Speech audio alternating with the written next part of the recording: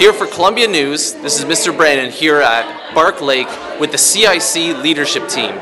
Here we have the student council, we have the prefects, we have the Columbia crew, and we have the residence council. We've come all the way to Northern Ontario to the beautiful Bark Lake to work on our leadership retreat.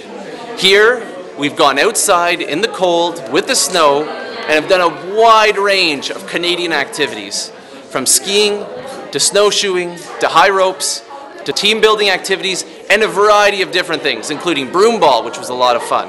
Even though these activities were fun and challenging, there was a lot more to them, as the students got to explore what it's like to work in a team, deal with conflict, and really gain confidence in trying new and exciting activities.